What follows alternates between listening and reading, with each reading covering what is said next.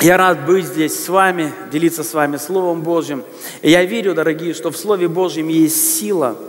Я верю, что в Слове Божьем есть откровение, есть благословение для каждого из нас. Аминь. И сегодня я хочу, чтобы мы были с вами честными, были откровенными и в первую очередь сами с собой. И вначале я просто задам два вопроса. Вот честно, два вопроса. Самый первый вопрос спрошу такой.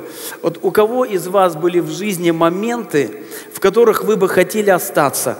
Вот вам было вот настолько хорошо, что вы бы могли сказать, остановись мгновение – все, не хочу дальше жить, по-другому, вот не хочу никуда уходить. Может быть, вы лежали на пляже где-нибудь на юге, и солнце припекало ваше, ваш животик, и море колыхалось, и вдруг вам так хорошо становилось, и вы бы говорили, все, вот, вот хочу так жить. Вот у кого были такие моменты? Поднимите руку.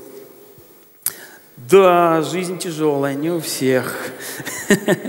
Я думал, каждый скажет, у меня были такие моменты, когда просто вот было так классно. А у кого были из вас моменты, когда вот в жизни было настолько плохо все? Вот, вот уже руки поднимают. Вот настолько все плохо, что вам сегодня скажи, слушай, вот я тебе дам миллион рублей. Так как у нас сегодня политика, доллары мы не даем уже, рублей миллион, вот только чтобы ты опять вот оказался в тех обстоятельствах, вот в плохих, в которых бы вот, ты никогда не хотел быть, но я тебе дам миллион, чтобы ты там оказался. Вот у кого в, жи- в жизни были такие обстоятельства, вот просто вот вы вспоминаете, и вам все настроение портится. У кого были такие обстоятельства? Да, повыше, повыше, поднимите руки. Вот, у всех были практически. А у кого из вас было и то, и другое? Две руки поднимите. Ну вот все, все честно, все честно, да ведь? Потому что, знаете, мы же христиане такие. Э, мы всегда говорим о том, что у нас хорошо в жизни, да ведь? Мы, мы хвалимся своими благословениями, достижениями, но мы умалчиваем, когда у нас в жизни что-то происходит плохое, негативное.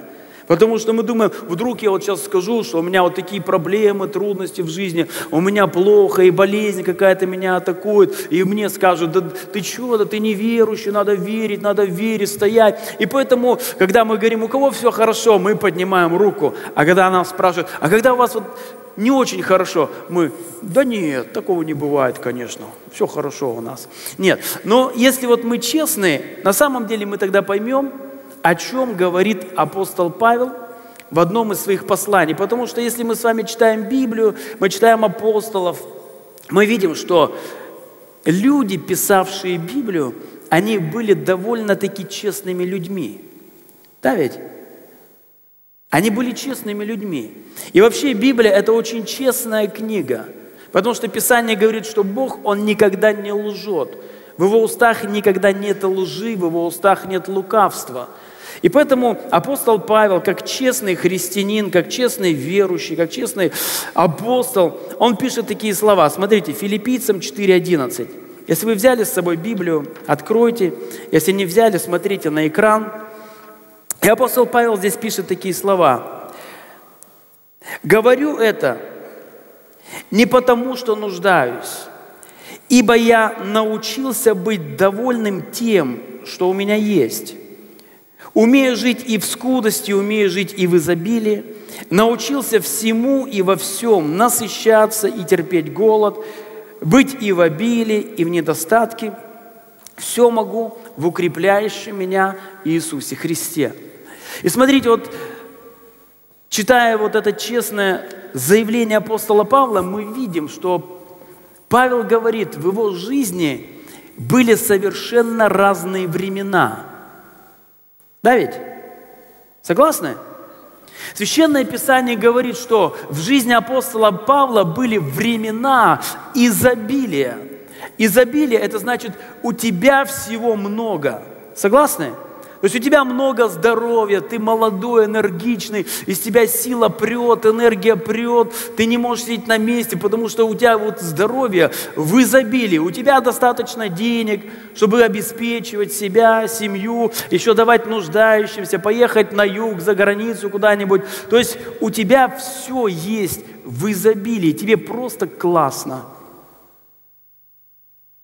Но апостол Павел говорит также, что у него были времена, времена скудости, времена, когда ему нечего было есть, времена, когда у него был голод, и когда у него был недостаток – и апостол Павел говорит честно, да, у меня были времена голода и недостатка, и никто не может сказать Павлу, ну, Павел, наверное, вопрос в том, что у тебя не доставало веры, или у тебя не доставало мудрости, или еще чего-то. Нет, у Павла была вера и во времена изобилия, и во времена недостатка у него все было нормально с верой, у него все было нормально с мудростью. Просто есть разные времена в нашей жизни. Согласны? Есть в разные времена. Конечно, мы как верующие, мы хотим, чтобы у нас всегда все было хорошо. Я не знаю, как вы, но я молюсь об этом. Я хочу, чтобы у меня в жизни все было хорошо. Я хочу, чтобы у моих детей в жизни было все хорошо, у моей семьи было в жизни хорошо, у людей в церкви было в жизни все хорошо. Я молюсь, я верю в Божье благословение. Я верю, что во Христе восполнены все мои нужды. Я исповедую это, я благодарю за это Бога, но часто, независимо от нас, в нашу жизнь приходят обстоятельства, которые бы мы не хотели встречать. Согласны? Они врываются, они не спрашивают тебя, они не стучатся в твою жизнь, болезнь не стучится в твою жизнь и не спрашивает, а можно войти, очень часто все негативное врывается в твою жизнь неожиданно, мгновенно.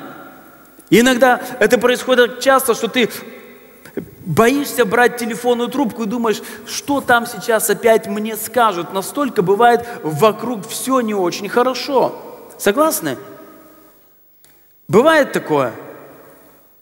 И когда мы с вами читаем Библию, мы видим, что Павел в вот этих переживаниях был не одинок – мы видим, что все люди в Священном Писании, кем бы они ни были, они проходили времена и изобилия, и времена скудости. Ну, давайте, я не знаю, ну, Вспомним самого апостола Павла, да, помните, однажды он пришел в один языческий город, и там они так красиво проповедовали, и происходили чудеса, что люди приняли их за богов, помните? И они сказали, Павел, Варнава, вы боги, они были готовы приносить им жертву. А потом в жизни апостола Павла были времена, когда его побили камнями, и когда он вынужден был спускаться со стены в какой-то корзине, чтобы его просто не убили – если мы с вами вспомним нашего Господа Иисуса Христа, когда Он входил в Иерусалим, ему кричали «Асанна, сына Давидову». Люди снимали свои одежды, они клали перед Ним эти одежды, они махали палевыми ветвями, они славили Его настолько сильно, что фарисеи, они говорили «Запретите им». Но прошло буквально немного времени – и те же люди, они уже глядя на истерзанного, на избитого Иисуса Христа, кричали, распни его.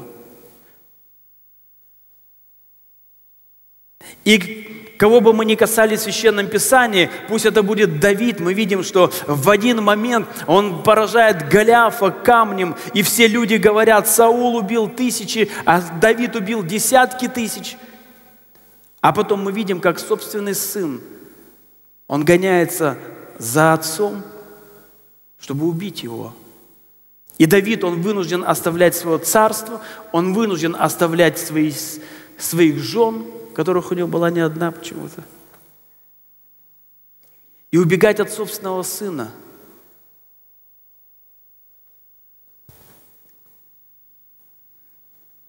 И, и это есть. Правильно ведь? Это есть. И мы проходим разные эти периоды. Но знаете, что очень важно? Очень важно, что во всем этом апостол Павел говорит очень важные слова. Он говорит, что в любые времена, во времена скудости или во времена изобилия я умею что делать? Я умею что делать? Жить. Я умею жить. Дорогие, какие бы времена ни наступали в нашей жизни, мы должны научиться продолжать жить. Потому что очень часто приходят настолько сильные атаки на нашу жизнь, что тебе кажется, все, на этом жизнь остановилась, все. И знаете, есть много людей, кого сломали какие-то обстоятельства. Есть много людей, кого сломали какие-то трагедии, произошедшие в их жизни, понимаете? Когда мы кормим бездомных на улице, это здоровые мужчины с руками, с ногами, и я смотрю на них, и я понимаю, что когда-то они были нормальными людьми – я верю, что для мужчины ненормально питаться с помойки и жить в канализационном, вернее, в тепловом люке. Я верю, что это ненормально. И я понимаю, что когда-то они были нормальными людьми. И когда я с ними разговариваю, я спрашиваю, у тебя есть дети? Он говорит, да, у меня, у меня двое детей, у меня сын и дочка. А сам живет в теплопроводе и питается непонятно чем и откуда. И я понимаю, ведь когда-то у него было все по-другому, когда-то у него была семья, у него родились дети, он женился, значит, он был нормальным человеком, его жизнь была нормальна, но какие-то обстоятельства сломали его. Понимаете? Обстоятельства, трагедия, потеря, утрата, неудача сломали его, и он просто опустил руки – да, он, он есть. Он есть, его можно увидеть, с ним можно поговорить, но назвать то, что происходит в его жизни, жизнью невозможно. Понимаете, о чем я говорю? И поэтому иногда приходят такие события, и дьявол говорит, все, конец, твоей жизни конец, твоя жизнь потеряла смысл, тебе больше незачем жить. К одному христианскому консультанту пришел мужчина лет 55. И в его жизни произошли события, и в его бизнесе. И он пришел к этому христианскому консультанту и сказал, знаете, моя жизнь больше не имеет смысла. Все, что я строил за свои 55 лет, это все рухнуло, все мои ценности, они рухнули, и я не вижу смысла дальше жить. И тогда этот христианский консультант начал задавать ему вопросы, и он спросил, послушайте, а у вас есть жена? Он говорит, ну, ну да, говорит, у меня есть жена, у меня хорошая жена, мы с ней давно в браке, и мы любим друг друга. Тогда он спрашивает, хорошо, скажите, а у вас есть дети? И он говорит, ну да, дети это... У меня есть, говорит, трое детей, и, и я знаю, что они моя опора, они моя поддержка. И тогда он спрашивает, скажите, а у вас есть друзья? И он говорит, ну да, я думаю, у меня есть несколько человек, друзей, которые всегда поддержат меня и придут на помощь. И тогда он спрашивает, хорошо, скажите, а как ваше здоровье? И он говорит, ну, в принципе, у меня хорошее здоровье, я в хорошей физической форме, и у меня нет никаких проблем со здоровьем. И он ему задает следующий вопрос. А скажите, как с вашей совестью? Он говорит, ну знаете, я всегда старался жить по принципам морали, и в принципе с моей совестью хорошо, меня совесть ни в чем не осуждает меня. И тогда он задает ему следующий вопрос. Скажите, а у вас есть вера в Бога? Он говорит, ну да, конечно же, я верю в Бога, я верю, что Бог есть, я стараюсь иметь с Ним отношения. И тогда он его спрашивает еще, скажите, пожалуйста, а как вы считаете, вы живете в хорошей стране? Это происходило в США. И он говорит, ну да, я считаю, что я живу в самой лучшей стране мира, где для человека все открыто и все возможности. И этот консультант записал все эти пункты и сказал, Смотрите, вы сказали, что в вашей жизни все рухнуло, и жизнь больше не имеет никакого смысла. Но давайте посмотрим. У вас есть прекрасная жена, у вас есть хорошие дети, у вас есть друзья, у вас порядок с совестью, у вас есть вера в Бога, у вас хорошее здоровье, и вы живете в замечательной стране. Как же вы можете сказать, что в вашей жизни все рухнуло? Этот человек посмотрел на весь этот список и сказал, пожалуй, с этой стороны я не смотрел на свою жизнь. И, пожалуй, мне можно начать все сначала. Понимаете, дьявол, он лжец. Понимаете, о чем я говорю? Дьявол, он лжец. Он хочет сосредоточить нас взгляд на том, что кажется страшным, ужасным и непреодолимым. Но мы знаем, что для Бога нет ничего невозможного. Аминь. И какие бы времена в нашей жизни не происходили, Священное Писание говорит, все возможно верующим. И смотрите, дорогие, смотрите, дорогие, апостол Павел говорит, когда мы читали с вами это место, вы понимаете, про что я говорю? Или с трудом? Хорошо. И апостол Павел говорит, я научился всему. То есть поймите, жизнь это такая, не знаю, как назвать, процесс, штука, событие, я не знаю, как назвать правильно, которая постоянно нам преподносит какие-то уроки. Согласны? И тебе надо чему-то научиться. Апостол Павел говорит, что во всех этих вещах он научился жить. И смотрите, когда мы говорим о жизни, что мы подразумеваем? Когда я думаю о том, что значит жить, лично я понимаю, что я должен уметь принять те обстоятельства, в которых я сейчас нахожусь. Понимаете, о чем я говорю? Я должен принять как факт те обстоятельства, в которых я сейчас нахожусь. Дорогие, это не значит смириться перед обстоятельствами, понимаете? Это не значит смириться и сказать, все плохо и всему конец. Нет, я признаю, да, сейчас в моей жизни не самое лучшее время. Я признаю обстоятельства, но я не смиряюсь перед ними. Дело в том, что очень часто мы не хотим принять обстоятельства, мы не хотим признать обстоятельства, в которых мы находимся. Если мы не поймем ситуацию, в которой мы находимся, мы не поймем, как нам из нее выйти – и мы вообще не будем понимать, надо ли нам из нее выйти. Есть ситуации, ты понимаешь, мне надо выйти из этой ситуации. Я не хочу смиряться перед этой ситуацией. Но сперва мы должны научиться в этом жить. Понимаете?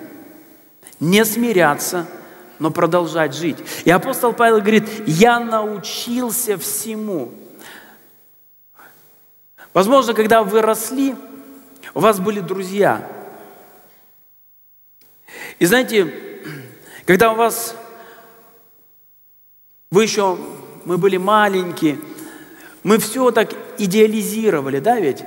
Мы думали, друзья – это на всю жизнь. Друзья никогда не расстаются. И у каждого был какой-то лучший друг. И вы думали, вот это вот друг на всю мою оставшуюся жизнь. Мы просто будем вот не разлей вода. Вот такого были такие друзья. Вот вы, вы просто дружили с ними в детстве, вы запомнили их на всю жизнь. И вы говорили, мы никогда не расстанемся. Некоторые друзья там заключают заветы разные, там дают обещания. А потом проходит время, и вдруг вы замечаете, что вы уже не стали друзьями.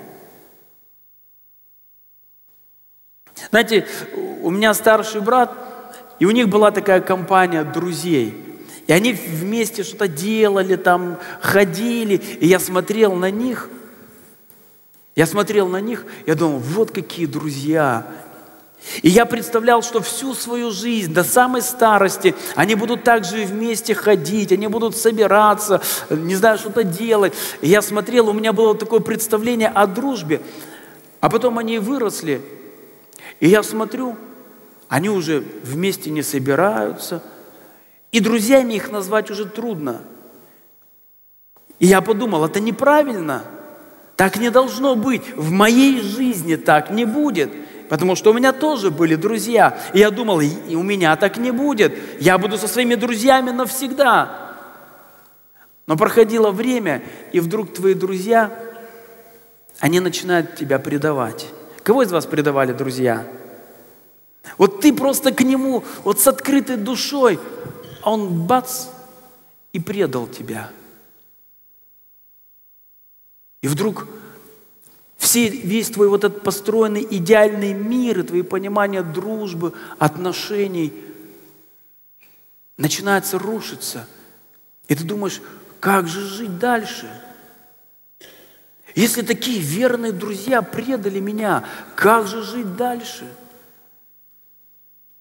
Или когда это происходит в браке, когда два человека юноша и девушка, они вступают в брак, и вот они стоят здесь или еще где-то стоят, одевают кольца, и они говорят, я обещаю тебе, что я буду любить тебя всю жизнь. И другой говорит, и я обещаю, что буду любить тебя всю жизнь. И вот такое идеальное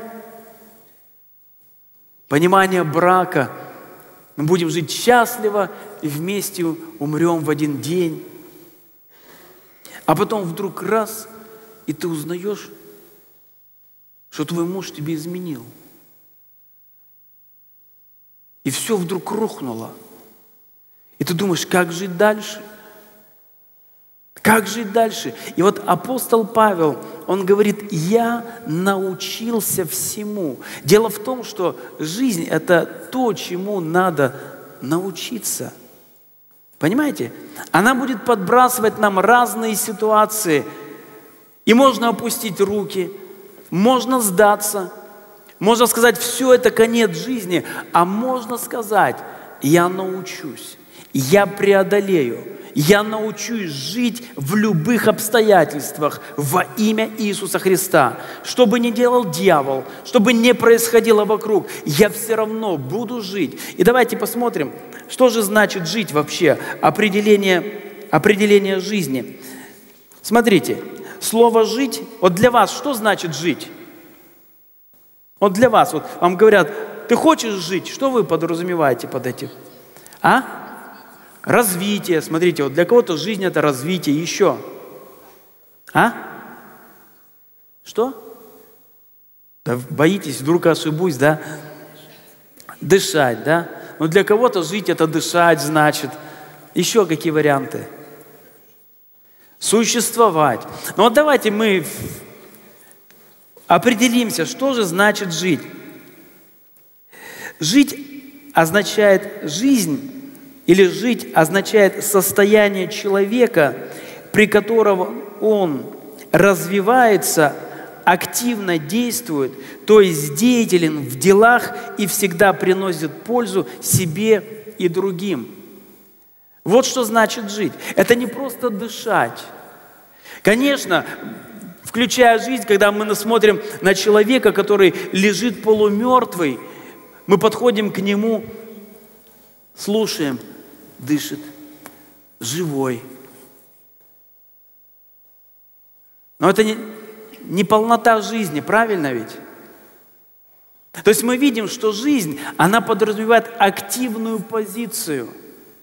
Жизнь, когда ты активен, когда ты развиваешься, как сказала сестра, это развитие, когда ты служишь другим, когда от тебя есть какой-то плод, когда от тебя есть какая-то польза. Вот это жизнь. Понимаете? Понимаете, о чем я говорю? И вот Павел говорит, я умею жить, дорогие, в любых обстоятельствах. Помните, апостола Павла побили камнями. И знаете, апостол Павел мог сказать, все, все, я, я просто вот всей душой проповедовал им Евангелие, я нес им спасение и благую весть Иисуса Христа. Они меня побили камнями. Да все, больше я им ни слова не скажу. Нет. Что было дальше? Священное Писание говорит, Павел вылез из-под этой груды камней, он отряхнулся,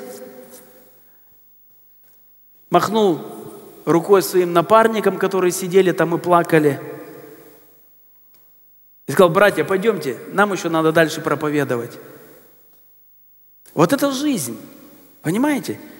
Вот это жизнь. И смотрите, давайте с вами прочитаем еще местописание – и апостол Павел говорит, И не сим, Римлянам 5.3, и не сим только хвалимся, но хвалимся и скорбями, зная, что от скорби происходит терпение. Смотрите, апостол Павел, мы говорили, был честный человек, он говорит, мы не только хвалимся своими достижениями, успехами, мы хвалимся и скорбями. Скорбями не в том плане, что ты пришел и, и хвалишься своими болезнями, да ведь? Ты говоришь, знаете, вот иногда собираются э, пожилые такие христиане уже в возрасте, и они начинают о своих болячках говорить. А у тебя вот, вот, у тебя вот ночью как ломит? Ну, у меня вот так вот ломит. Ну, ну это еще что? А вот как у меня ломит, тебе не снилось, как у меня ломит? У меня вот прям вот, вот прям вот выкручивают. У меня иногда мама приходит ко мне и говорит, что-то сегодня всю ночь не спала, вот, вот крутила ногу и все. Я говорю, слушай, мам, а у тебя вот в какую сторону, в правую или в левую вкрутила, в какую? И знаете, как ты так посмеешься, и все, про болезни уже забыли, уже сразу смотришь, засмеялись. Но некоторые так любят о своих болезнях говорить, и, и чуть ли вот прям не хвалятся. Павел не этим хвалился. Он не подошел к своим э, соработникам говорит, вот это вот перелом, вот помните, меня там побили камнями, о, смотри, какая шишка. А вот, а вот здесь вот а там меня вот избили плетьми. Нет, он говорил о трудностях, которые преодолевали. И смотрите, Священное Писание говорит, что от всех этих скорбей, которые приходят в нашу жизнь, а как мы выяснили, они приходят, да, мы обретаем что? Терпение. То есть поймите, когда мы проходим вот эти вещи, мы начинаем учиться. Я помню, когда меня первый раз так скажем, подставили мои верные друзья. Это для меня было шоком. Когда я узнал, это для меня было шоком. И я понял, что мне надо пережить это, мне надо научиться пройти это. Понимаете? Мне надо научиться простить. Мне надо научиться выйти из этой ситуации и продолжать жить. И в твоей жизни, и в моей будут разные события, где тебе надо будет сказать, я научусь, как это пройти. И Писание говорит, что тогда мы обретаем терпение. Мы обретаем терпение. Дальше апостол Павел говорит, от терпения происходит опытность. И Священное Писание говорит, что ты становишься опытным человеком – а опыт – это то, что очень сильно ценится. Правильно ведь? Согласны?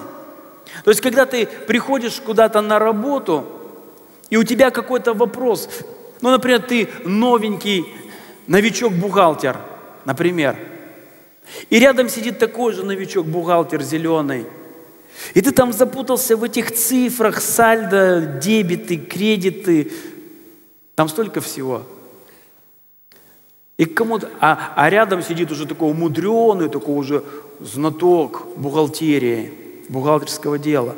К кому ты пойдешь? Ты же пойдешь к опытному, правильно ведь? Согласны? Вот передо мной тут бухгалтерия сидит. Правильно ведь? Ольга, правильно? А, правильно? А то думаю, сейчас наговорю что-нибудь.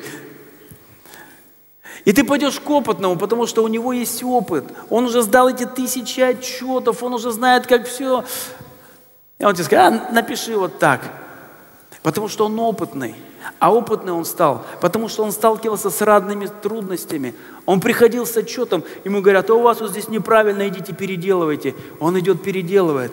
Потом приходит, а вот вот здесь у вас нолика не хватает или запятой. Он опять, и он приобретает опыт и терпение. И потом к нему уже приходят люди и говорят, а подскажи, а как вот здесь, а как вот, вот Бог хочет, чтобы мы были опытными, понимаете? Опытными христианами. Чтобы к тебе могли прийти люди и сказать, послушай, я знаю, в твоей жизни были такие события, как ты прошел это? Как ты прошел, как ты справился, как ты превозмог, как ты, как ты выжил в этих обстоятельствах? И ты, умудренный опытом и терпением, ну, садись, расскажу тебе, как все было. И ты делишься опытом, который ты приобрел благодаря тому, что ты учился проходить скорби и трудности. Понимаете, о чем я говорю? Благодаря тому, что ты не опустил руки, но ты сказал, я буду жить в любых обстоятельствах. В любых обстоятельствах.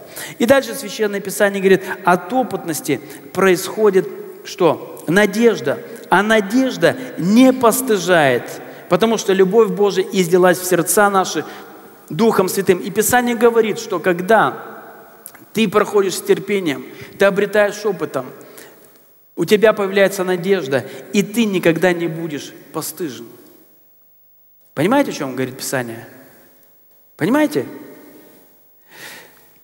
Смотрите дальше. Когда мы с вами выяснили, жить это значит иметь что? Активную позицию. И когда вот происходят такие разные события, которые говорят, все, жизнь остановилась, жить больше незачем. Я вспоминаю одну историю. Это книга пророка Иона, помните? Книга пророка Иона. Священное Писание говорит, что Бог сказал Ионе пойти в Ниневию и проповедовать там о покаянии. Иона не послушался, и в результате он оказался где? В чреве Китая. Смотрите, Иона 2 глава, 5 стих. И там написано, и там Иона вот в этих обстоятельствах, поймите, мы можем оказаться в таких обстоятельствах, когда кажется все, кругом тьма, выхода нету, все двери закрыты. Но и в этих обстоятельствах Иона знал, все равно что-то можно сделать. Все равно даже в этих обстоятельствах можно что-то предпринять. И что он начал делать? А? Он начал молиться. Согласны? Иногда в твоей жизни бывает настолько все так плохо, ты не знаешь, куда идти. Но знаешь, что ты можешь сделать? Ты можешь стать перед Богом и начать молиться. Иногда бывают такие обстоятельства, ты не знаешь, что делать. Куда идти, как поступать. И такое ощущение, что вот все силы ада, они ополчились против тебя. И ты понимаешь, все, что можно сейчас сделать, это просто поднять руки к небу и сказать, Господь, я здесь, помоги мне. Можно просто начать прославлять Бога. Иона, он там в чреве этой рыбы взмолился и говорит, и я сказал, Отринут я от очей твоих. Он говорит, даже Бог меня уже отринул, но все равно он молится.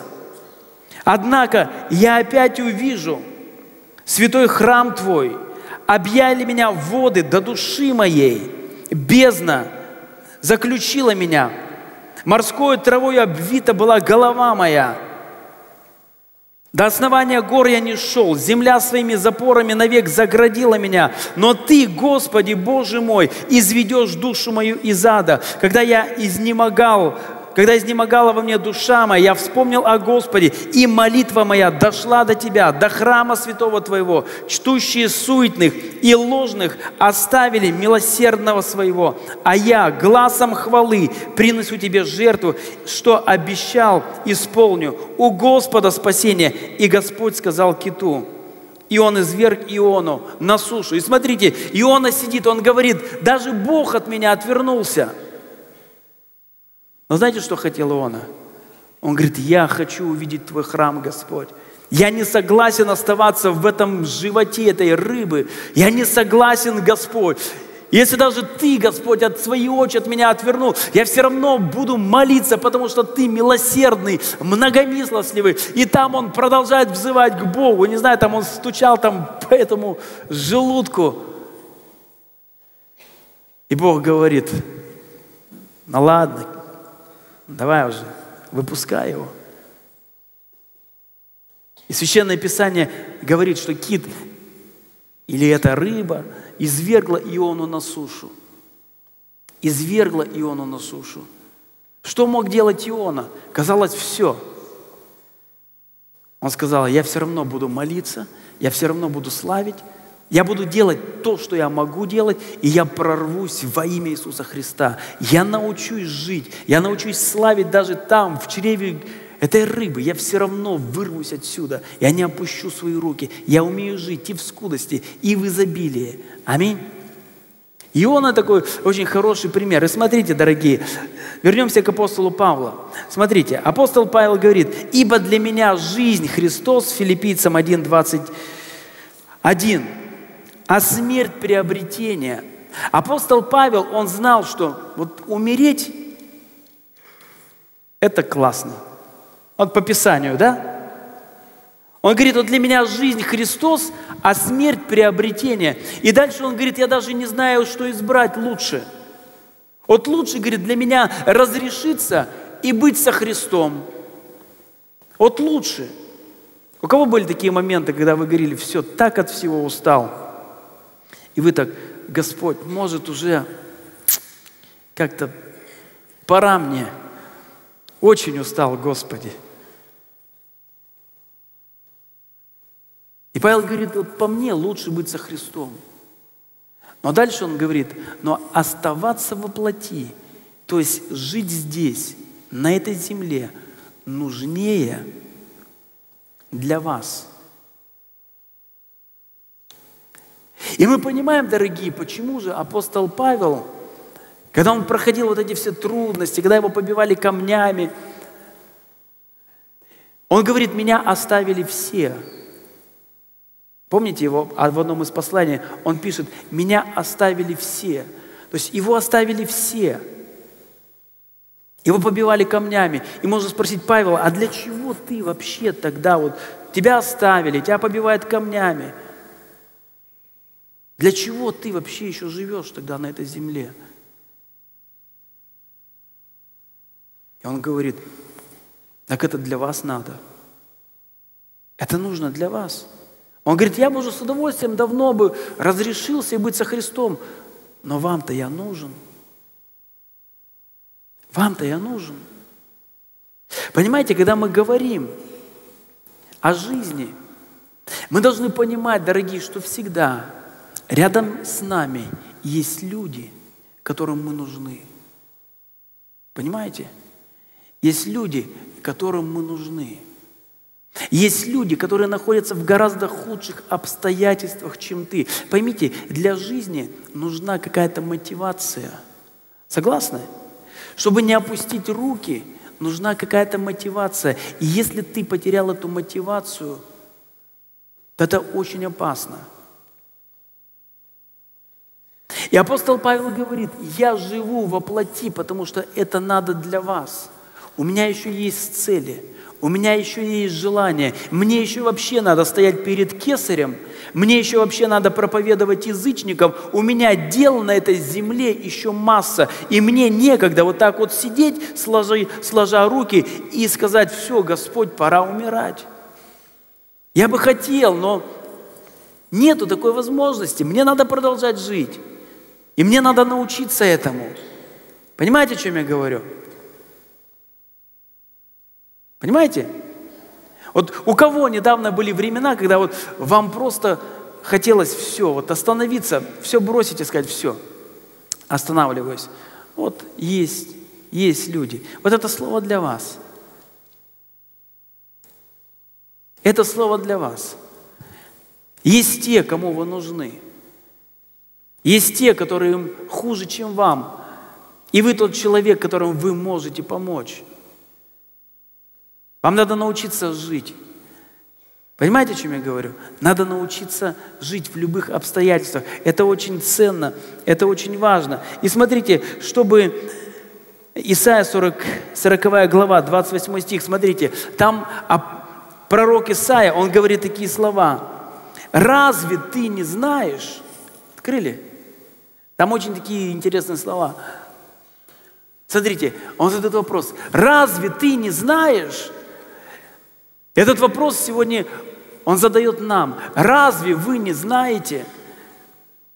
И дальше он говорит. Разве вы не слышали, что вечный Господь Бог, сотворивший концы земли, не утомляется и не изнемогает. Разум его неисследим. Он дает утомляющим, утомленным силу и изнемогшему дарует крепость. Смотрите, ты говоришь, Господь, я изнемог, я утомлен. Господь говорит, ты что, разве не знаешь?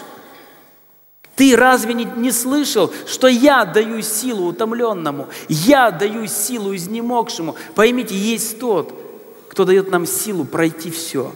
Есть тот, кто научит нас жить в любых обстоятельствах. Понимаете? И дальше он говорит, дальше он говорит, утомляются и юноши, и ослабевают, и молодые падают – Исаия говорит, да, бывает такое в жизни, но надеющиеся на Господа обновятся в силе, поднимут крылья, как орлы, потекут и не устанут, пойдут и не утомятся – Господь говорит, разве вы это не знаете? И какие бы в нашей жизни не были периоды, мы можем сказать, Господь, Ты моя сила, Ты моя крепость. И я верю, дорогие, что бы ни происходило в нашей жизни, Бог, Он все силен обернуть во благо нам. Понимаете? Тебе кажется, знаете, этот известный уже такой популярный анекдот, когда, который даже президент рассказал по телевизору, помните про эту черную и белую полосу, да? Когда человека спрашивают и говорят, «Э, как твои дела? Он говорит, ну, похоже, у меня в жизни черная полоса, как-то все так неважно. Спустя какое-то время они опять встречаются и опять спрашивают, ну как, ты прошел эту черную полосу, до которой у тебя? Он говорит, да нет, оказывается, это была белая полоса. Вот бывает, бывают такие ситуации, но Господь говорит, дорогой, ну разве ты не знаешь, я-то с тобой – я пройду вместе с тобой все. Я дам тебе силу, когда ты утомишься. Я дам тебе силу, когда у тебя уже своих не будет. Я рядом с тобой всегда. Уповай на меня, доверься мне. И Писание говорит, и тогда твои силы обновятся, как крылья у орла. И поднимутся твои крылья. Пойдут и не устанут. Пойдут и не утомятся. Понимаете, что говорит Священное Писание? Чтобы не делал дьявол, если мы верим Господу, нам все обернется во благо. И я верю, любые вот эти черные полосы, они смогут стать для нас благословением, если только в это время мы скажем, Господь, я буду жить. Я не опущу свои руки. Во имя Иисуса Христа, Господь, я верю, Ты со мной. Илья, можно? Где у нас Илья? За, за клавиши. И смотрите, еще Одна история, которую бы я хотел вам показать, это книга Иова. Можно показать Иова? Книга Иова. И знаете, Священное Писание говорит, что вот жизнь Иова, она была благословлена. Да ведь? Даже дьявол пришел пред Богом и сказал, Господь Иов, вот у него жизнь сплошная белая полоса. У него все так классно, говорит, и поэтому одна, одна причина есть. Ты во всем оградил его. У него все в жизни замечательно. У него масса детей. У него масса животных. Он вообще процветающий человек. И все потому, что ты его благословил. Но убери свою руку, Господь, и посмотрим, благословит ли Он тогда тебя. И Господь сказал, хорошо, дьявол, ты можешь коснуться всего, что у него есть, кроме души. И написано, приступил к нему дьявол. И началась черная полоса. Он сидит дома, и прибегают люди и говорят, Иов, все твои дети погибли. Один удар. Потом приходят и говорят, Иов, весь твой скот разграбили. Второй удар. Потом он смотрит, у него на теле какие-то начали появляться пятна. Пришли, так скажем, посмотрели и говорят, Иов, это проказа, ты умрешь. У тебя нет никакого будущего. Жена пришла и говорит, Иов, знаешь что, похули Бога и умри. Похули Бога и умри. Ты думаешь, ничего себе. Вот это событие в жизни, вот эта полоса. У кого из нас такое было? Я вам скажу, что никто из нас такого не проходил. Да, мы проходили разные вещи, но никто из нас в такой ситуации не был, чтобы в один день или в несколько дней вот так сразу все на тебя обрушилось. Просто все, что было, все потеряно. И все, что осталось, твоя душа. И пришли друзья к Иову, и эти начали настроение портить. Это Иов, ты сам во всем виноват, не хочешь каяться в грехах своих. А Иов сидит и ничего не понимает. Что случилось? Почему? И я же как мог, я, я не знаю за собой никого греха. И прошло какое-то время, дорогие. И когда я думаю про Иова, знаете,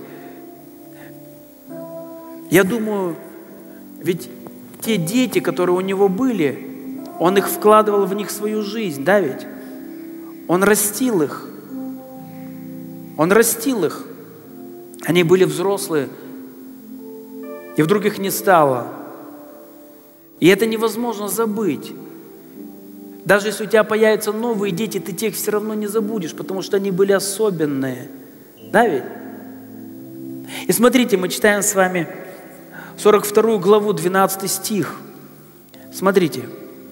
Прошло время, все эти события написано, и благословил Бог последние дни Иова, более нежели прежние.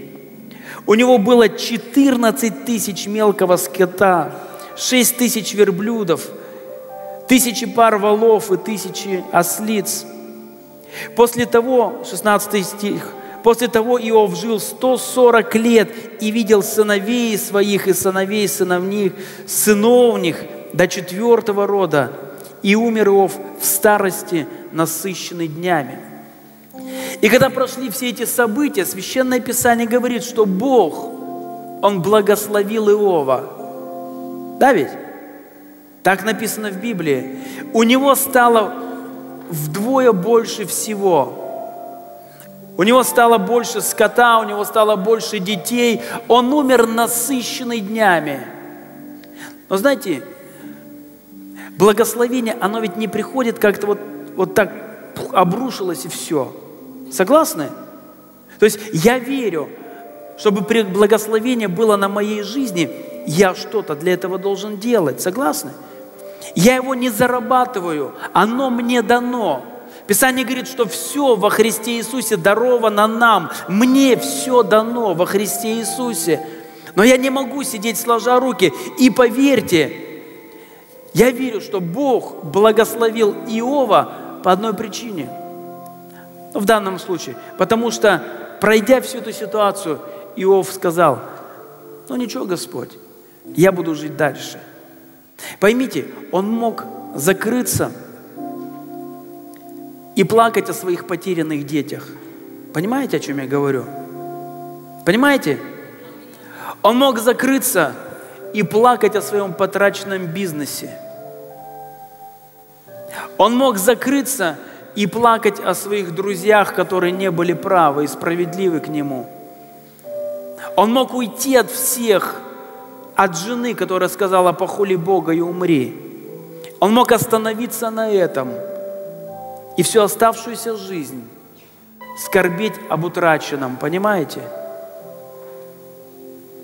Он просто бы сидел и вспоминал, какие у меня были хорошие дети, какой у меня был хороший скот, а жена, она была классная, но она предала меня, сказала умри. И всю оставшуюся жизнь он мог бы так прожить. Это не было бы жизнью. И знаете, к сожалению, многие люди, мы так и живем. Мы так и живем. В нашей жизни произошли какие-то потери, утраты, и мы остались там, понимаете? Мы остались там. Мы остались там, и мы живем прошлым, мы живем утраченным, мы живем тем, что невозможно вернуть.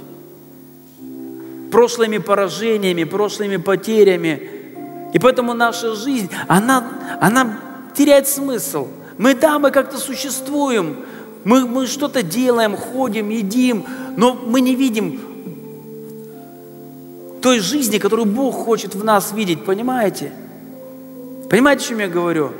И поэтому апостол Павел говорит, дорогие, забывая заднее, я простираюсь вперед. Знаете, почему у Иова стало больше скота? Потому что когда он исцелился, он сказал, Господь, благодарю Тебя, теперь я пошел жить дальше. Я пошел заниматься своими делами. Да, у меня было много скота, я его потерял, но ничего страшного, у меня будет еще больше, потому что я буду жить, я буду трудиться, я буду работать. Да, я потерял всех своих детей, но у меня ведь еще есть жена, и у меня будут дети. Поверьте, они родились не от Духа Святого, а потому что Иов сказал, жена, пойдем жить дальше. И у него родилось вдвое больше детей. Понимаете, о чем я говорю? Его жизнь, она наполнилась смыслом.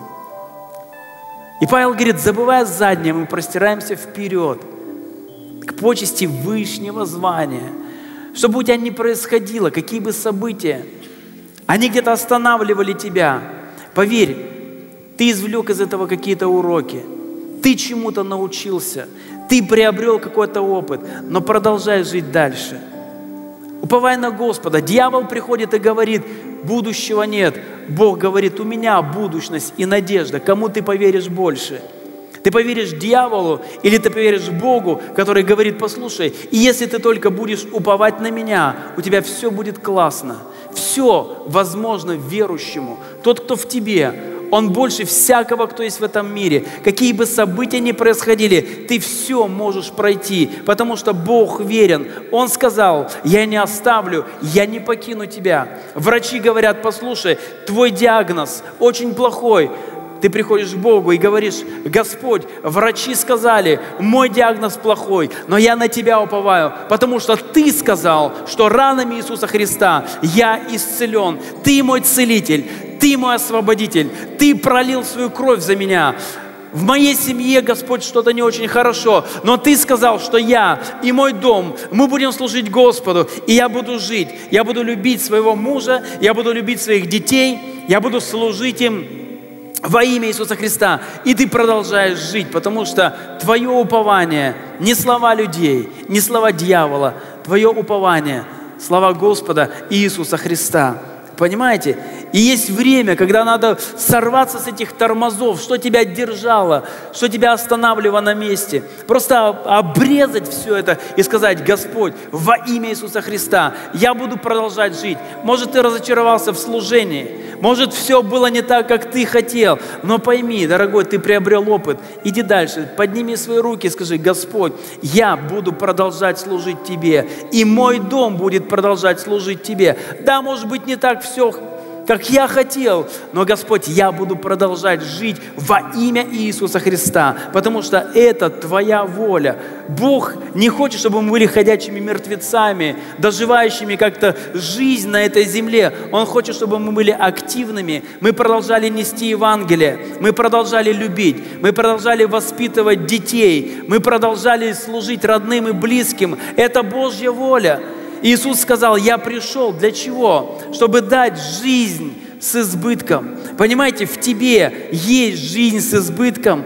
Твое дело выпустить ее наружу и сказать, Бог, жив я, жива душа моя, во имя Иисуса Христа. И никакие враги ада, они не остановят меня перед трудностями, перед скорбями, перед обстоятельствами.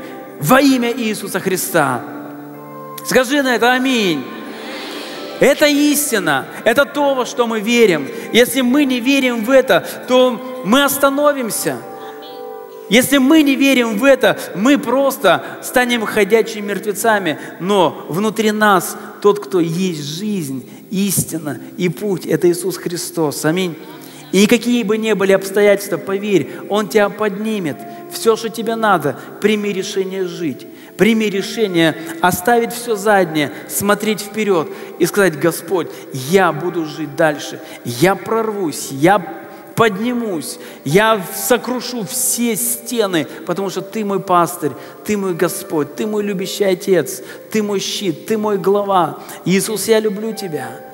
Я люблю Тебя, и Ты любишь меня. Ты верный Бог, Ты не оставишь меня и не покинешь. Аминь. Это истина, это правда, это правда. Мы видим, что когда мы читаем 11 главу книги Евреев, что мы там видим? Мы видим, дорогие, что эти люди, они проходили разные события. Авраам, Давид, Самсон, они проходили разные события, но они говорили, я буду жить во имя Иисуса Христа. Я буду жить. Я буду плодоносным на этой земле. Я буду источником Божьей любви. Я буду источником Божьей жизни. Я буду источником Божьей радости. Я буду источником Божьего благословения. Куда я приду, там должна прийти жизнь во имя Иисуса Христа. Мы призваны для этого. Мы призваны для этого. Аминь. Скажи соседу, ты призван быть источником жизни, радости и любви.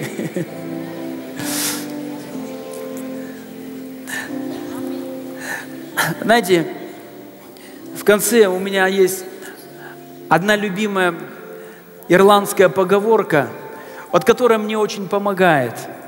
И так как я ее часто говорю в церкви, мне как-то неудобно самому не поступать так, как это говорит ирландская поговорка. А говорит она так.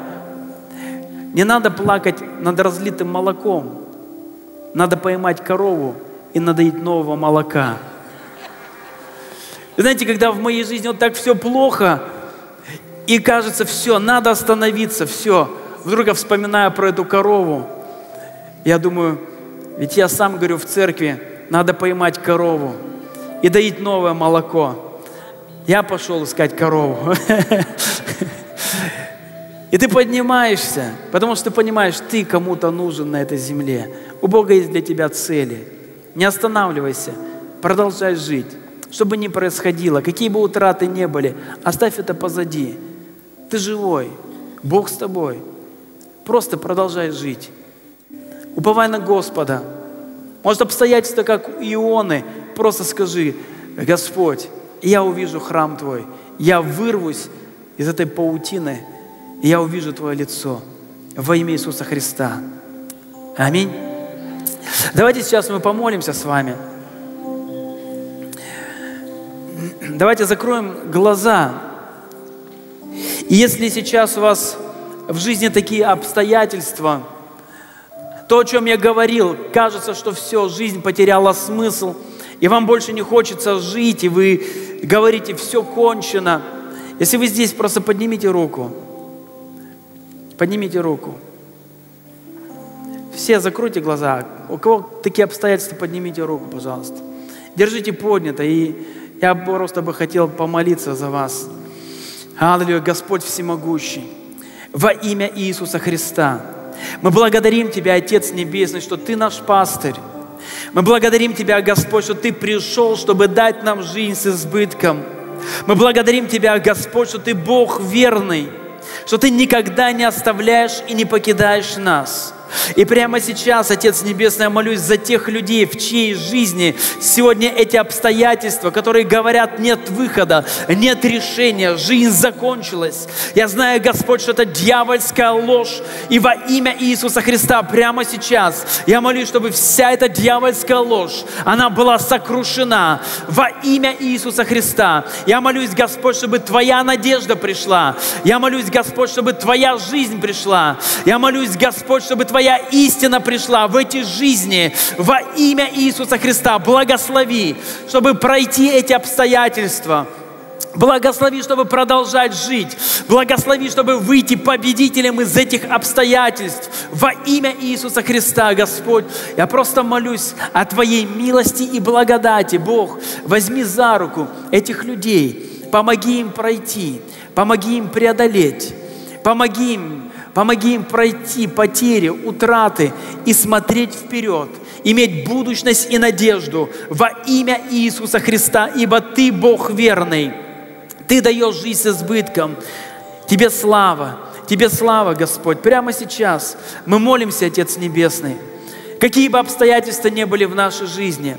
Молимся, чтобы мы умели жить, мы умели радоваться, мы были плодоносными в любых обстоятельствах во имя Иисуса Христа. Мы молимся, чтобы нам никогда не довериться дьявольской лжи, но уповать на Твое Слово и на Твои обетования. Мы молимся, Господь, чтобы, проходя скорби, мы обретали опытность и надежду, и мы становились терпеливее во имя Иисуса Христа, чтобы мы могли помогать пройти тем, кто находится в этих сложных обстоятельствах. Мы просим, Господь, помоги нам видеть цели в нашей жизни. Помоги нам видеть людей, которые нуждаются в нас, которые нуждаются в нашей помощи. Помоги нам, Господь, помоги нам во имя Иисуса Христа не опускать своих рук, но во всем довериться Тебе и знать, что любые обстоятельства Ты обратишь во благо нам, и дьявол будет посрамлен, а Ты прославлен Иисус Христос. Мы благодарим Тебя, мы славим Тебя, мы превозносим Твое святое имя, всемогущий Господь, Небесный Отец, Сын и Дух Святой. И каждый верующий да скажет Аминь.